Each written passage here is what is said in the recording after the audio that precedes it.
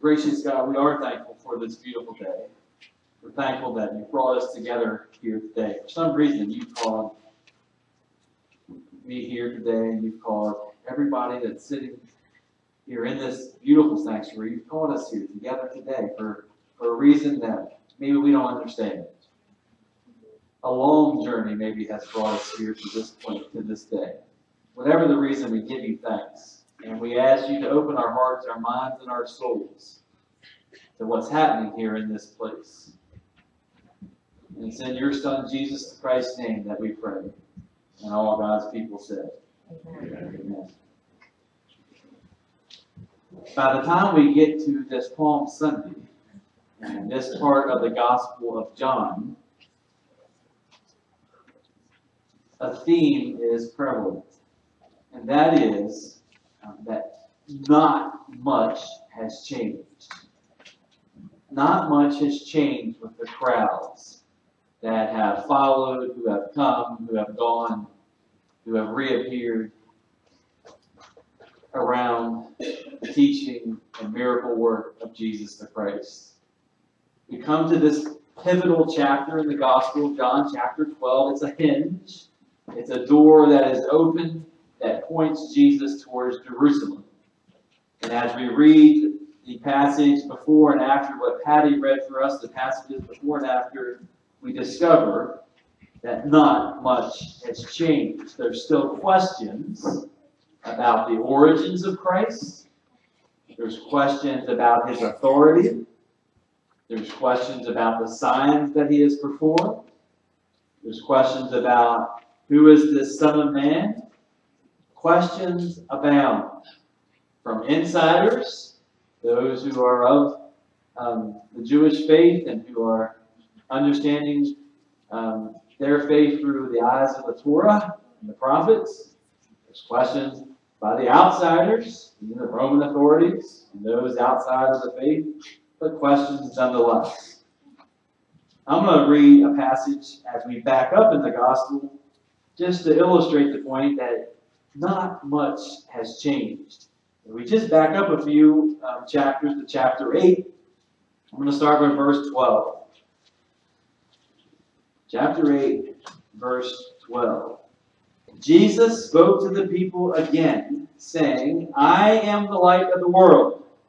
Whoever follows me won't walk in darkness, but will have the light of life. I'll stop there just for a second not only has not much changed with the crowds, not much has changed with what the Gospel of John is trying to articulate. From the very beginning to the very end, we hear this division between darkness and what? Darkness and light. So it's a theme over and over again, and we have it here in this Palm Sunday reading as well. Picking up the verses. Then the Pharisees said to him, See, nothing much has changed. Because you are testifying about yourself, your testimony is not valid. And so the Pharisees are questioning his authority. Not much has changed. Jesus replied, Even if I testify about myself, my testimony is true, since I know where I came from and where I'm going. Not much has changed with that. The origins of Christ from the very beginning, when we had that, um, that making the water into wine, we talked about one of the signs pointing towards the glory of God is this idea of the origins. Where is Christ coming from? And so this passage lifts that up. You don't know where I'm coming from or where I'm going. You judge according to human standards, but I judge no one. Even if I do judge, my judgment is truthful because I'm not alone. My judgments come from me and from the Father who sent me.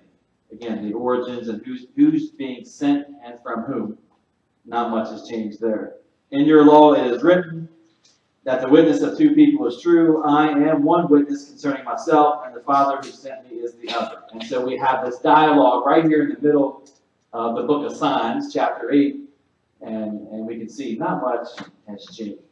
And even if we back up to the first miracle story, that started all this for us, the changing of water to wine. Um, just an example of how these signs uh, work and the responses they usher in. Uh, after the changing of the water of the wine, we have Jesus um, heading into Jerusalem the first time, and he's having this conversation uh, with the Jewish leaders starting in verse 18. Then the Jewish leaders asked him, About what authority are you doing these things? What miraculous signs will you show? So again, you know, from the very beginning of this gospel, those questions are there, and they're going to be the core of the argument, the core of the conflict, trying to answer these questions about who is this Jesus guy and where is he coming from. And so by the time we get to this hinge chapter, chapter 12, where he's making his way towards Jerusalem, um, the old saying, as much as things change, they what? They stay the same. And so we have, uh, in this case, more questions, more conflict is heating up. And so not much has changed. What we've done together uh, for the last um, month and a half is we've looked at uh, the signs of the Gospel of John. I think we skipped one. Uh, but the signs, so through all these signs, through all these symbols, all these miracles that Jesus has been working through and out and with, uh, pointing towards the glory of God, um, you know, we've looked at them one by one. The, the first miracle at Cana at the wedding, water to wine. Then the curing of the official's uh, son, the curing of the paralyzed man at the bath, and then the feeding of the 5,000, the walking on the water is the one I think we skipped, and then uh, healing the blind man. And then finally, the last straw was the raising of Lazarus, the raising of Lazarus. And so we've had all these signs, all these miracles that have been pointing us towards the glory of God, giving us hints, giving us a taste of the glory of God. And all along the way, some folks have responded in a positive way, and they've been attracted to these symbols and these signs. Others, it just raised the level of conflict and question about the authority of Jesus. But all along the way, it's been the same story. It's been almost like a broken record in terms of the response. And so nothing much has changed. And now, when we get to this chapter of Jesus, his entry into Jerusalem, uh, the whole chapter through, again, we see the same themes of light and darkness, uh, uh, death and life, um, good and evil, basically, insiders and outsiders. I'll draw you to uh, verse 30 in chapter 12. And so this is a little bit beyond uh, what was read for us. Jesus is in another conversation um, with the Pharisees and the religious leaders, and he replies uh, about the voice that was just heard from his Father in heaven. This wasn't for my benefit, but for yours. Now is the time for judgment of this world. Now this world's ruler will be thrown out. When I'm lifted up from the earth, I will draw everyone to me. And he said this to show how he was going to die. And so now we have um, this conflict. Uh, and then the Pharisees respond. So now, so now Jesus again, he's been heading towards the fact that he had to be lifted up, and that would be where he, uh, where God's glory was revealed. And now he says it specifically and explicitly. Um, and now the Pharisees responded in 34. The crowd responded, "We have heard from the law that the Christ remains forever. How can you say that the human one must be lifted up? Who is this human one? So it's the same questions from the very beginning. It's the same question from the very beginning of this book. And they're asking, how could this be? It doesn't match up with what we know. It doesn't match up with what we know it's supposed to be in terms of the Messiah. So these religious leaders are hung up on what they know and what they expect and what they have learned all along the way, and they have missed God's glory through all of these signs that we've talked about. I hesitate to ask, but may we get the picture up on the screen that is prepared. All right, all right. This is a Rembrandt, and that's an etching. And Jesus is there in the background. And what I would like to point out is on the lowest part of the screen, there's actually, you're not going to be able to see it very well just because of the copy, but there's a little boy who is laying in the dust, dirt, and he's drawing in the dirt. The little arrow is pointing, the cursor is pointing on the little boy. Thank you. And so everybody is listening intently on Jesus, and this little boy seems to be oblivious to the glory of God in the room, which is Jesus the Christ. And so I raised that, we showed that to say that that boy is not much different than the crowds that have been following Jesus from one sign to the other, from the wedding at Cana to the healing at Cana, to the feeding of the 5,000, to the walking on water, the calming of the sea. Jesus has been revealing himself and the glory of God all along the way, yet people seem to be oblivious.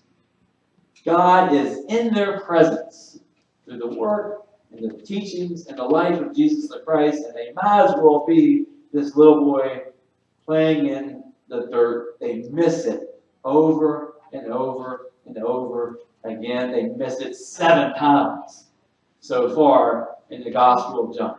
They've had a complete opportunity to see the glory of God, and they miss it.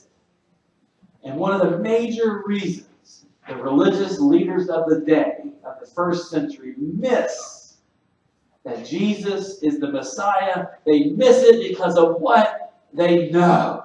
They miss it because of what knowledge they have acquired from little bitty boys like that and they've grown up in the synagogue, they've grown up in the Torah, they've grown up with the prophets, they've grown up with their grandparents teaching them about the coming Messiah, and it does not match up to what they know with their head that the Messiah is supposed to be, and so they miss it regardless of how many signs and miracles and teachings Jesus does in their presence, they're oblivious because it doesn't match up to what they know. The mystery of God doesn't match up with what they know. They have no room in the first century for the mystery of God's miracles. They have no room for signs from God that don't match up word for word with the way they understand the Torah and the prophets. And so they miss the glory of God in their presence. In their presence. And so they continue to question the origins of Jesus, the authority of Jesus, his relationship with the Father, his relationship with the Torah, his relationship with the prophets, his relationship as they navigate first century politics and economics. They miss it. They have a longing to see the world in black and white. Not much has changed. They've been consistent with that all along. And in fact, from the beginning of time, that's what the human has wanted. They've wanted to know. They've wanted to know. That's the first sin in the garden. What's the first sin in the garden? Basically, they were seeking out what? Eating the apple because what was it going to give them? Knowledge. Knowledge. Now, before we go too far, don't go home and throw away your Bibles quit reading because we don't want to pursue knowledge. That's ridiculous. But sometimes our pursuit of knowledge, especially pursuit of knowledge in the black and white, to want to know for sure without a shadow of a doubt, can be a barrier to us understanding or at least experiencing the mystery and the presence of God. Because we can find ourselves, if we're not too careful, just as these Pharisees and religious leaders are, if we don't watch ourselves, we can be blinded by what we know about God. We can be so blinded by what we think we know, me say it that way, that we can miss the miracles and the signs in our midst. We can be oblivious, just like this kid on the floor, to God working around us, because it doesn't quite match up to what we thought we knew. We have to make room as Christians for the mystery of the way God operates. If we don't make room for that, we can miss big time signs and miracles. Big time signs and miracles. not much has changed since this story of Jesus moving into Jerusalem and the people missing it. Just as an aside, Jesus, one time in the gospel stories, writes something down. One time, he writes something down. Can, can anybody remember what medium he used? Did he use a computer? Dirt. That can be easily what? Wiped away. Wiped away. We want to lock God and Jesus up in these boxes based on the Jesus we've created. We all, everyone in here, 100% of us, 100% of us have created a Jesus that we follow. 100% of us have created a Jesus that we follow. And 100% of us um, don't get it right. 100% of us are wrong in the Jesus that we've created.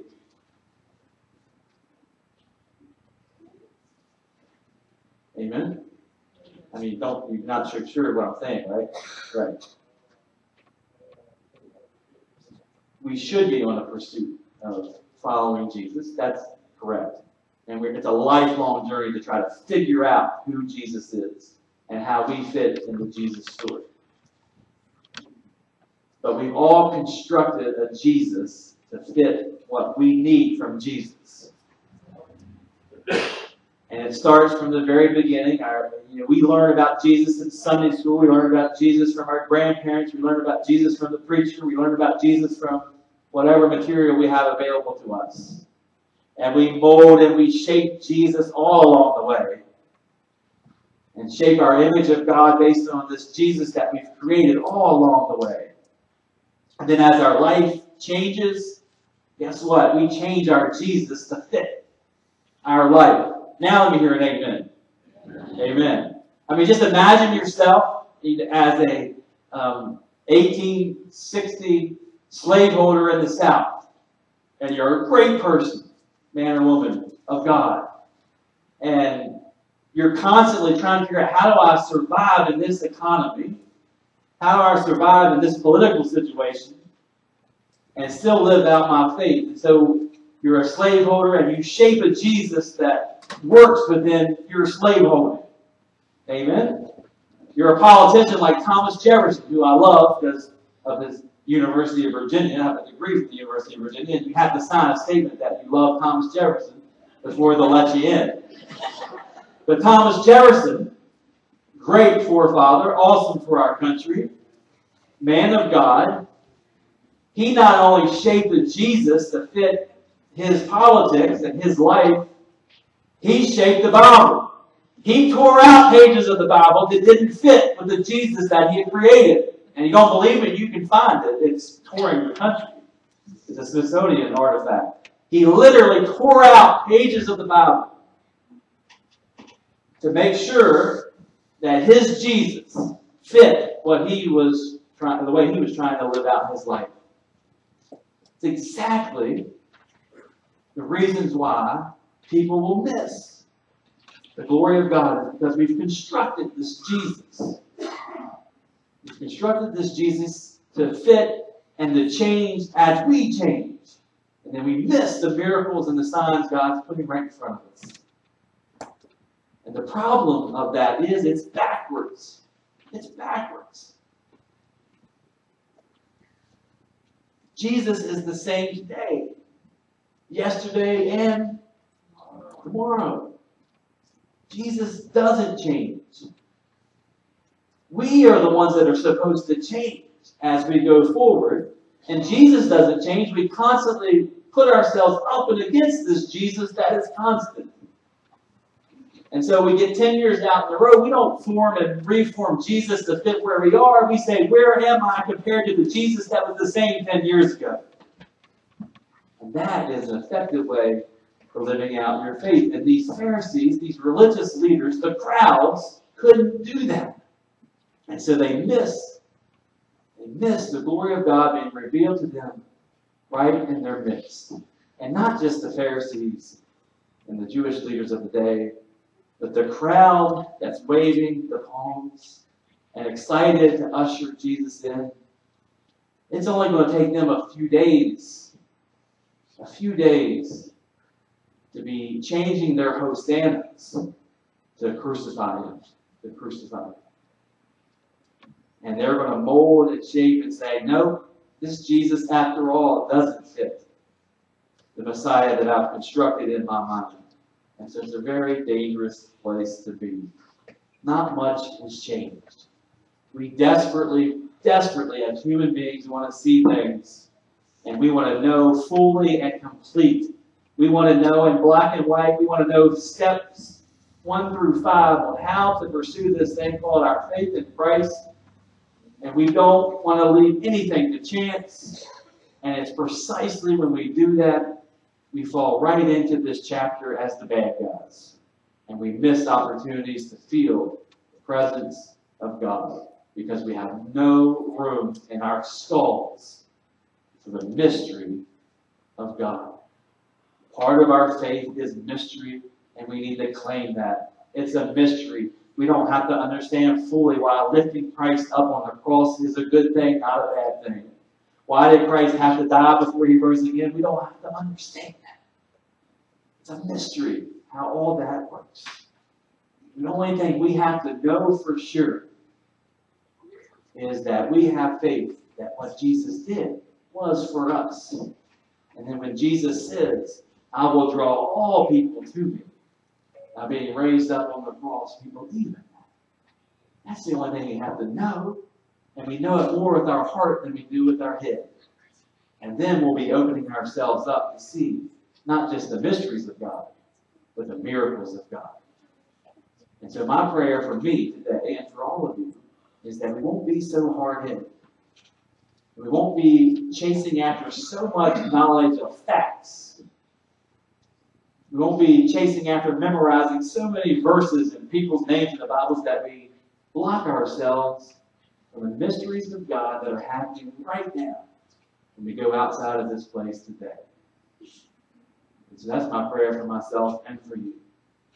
That we can come out of this this week, not being on the side that yells crucified, but holding steadfast to our belief that Jesus is the Messiah and that we can shout Hosanna all through Holy Week, leading us to the empty tomb when we gather again next Sunday. It's a mystery, and we can claim that and we can celebrate that together if we're not Pharisaic in our faith in Christ. Amen? Amen.